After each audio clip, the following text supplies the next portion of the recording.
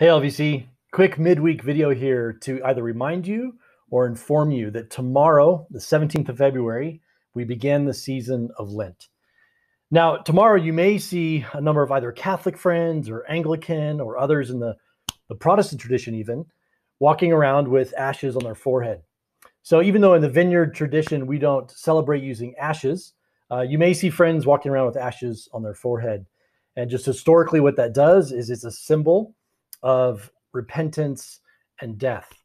So, whether or not someone used ashes or not, as we enter into the Lenten season, this is a 40 day period leading up to the cross and resurrection of Jesus Christ, where we take time as Christians to reflect on what the passion of Jesus means. So, let me encourage you.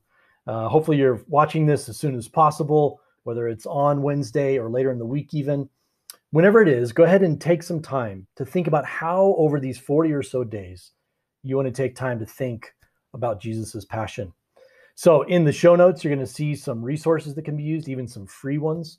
But one of the ones I want to bring to your attention is by the Africa Study Bible, and it's lent through African eyes. So this is a resource you can use, even using the YouVersion Bible app that's free. Uh, there's a reading plan that you can do either individually or with groups. So consider, especially during this pandemic when we're not together physically, consider inviting a few friends, maybe in your home group or others, to go through this study with you.